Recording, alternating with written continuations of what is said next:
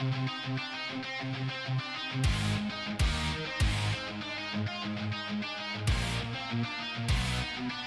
back.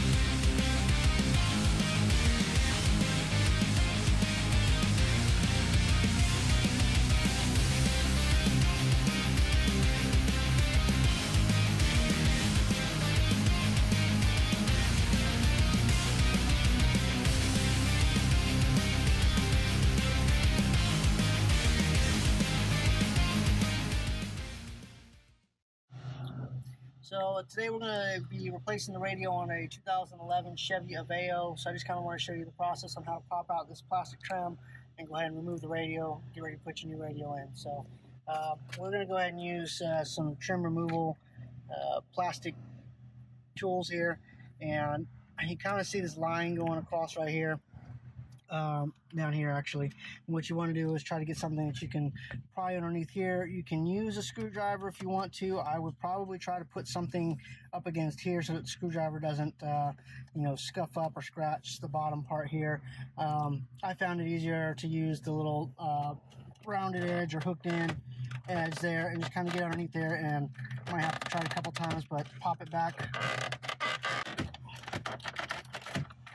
All right, so just like that, kind of get it underneath there, pop it out, and go over that side and pop that. Um, you want to give it a little bit of effort without, you know, prying too hard and breaking the, the clips. Um, I've already pulled the screws out, but basically you'll have those two clips there, and there, there, and there, and then there will be four screws here, here, and here. Like I said, I've already pulled these out.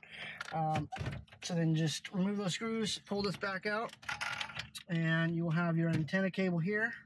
So we will go ahead and pull that out.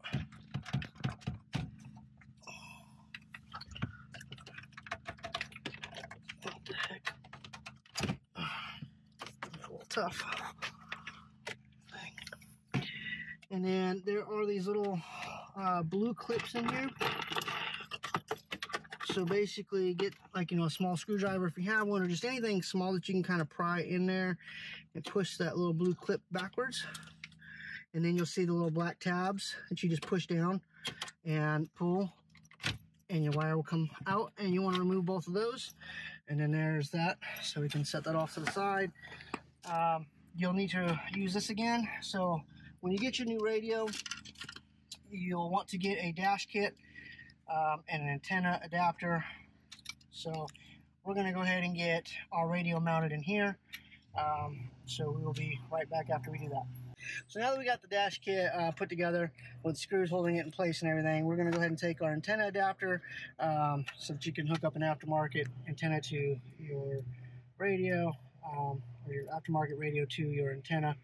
Um, just take that, put it on one end, this on the other end. And depending on what kind of radio you're uh, you're using, you may have other things like USB. You might have a microphone. You might want to go ahead and get all that stuff running at this point.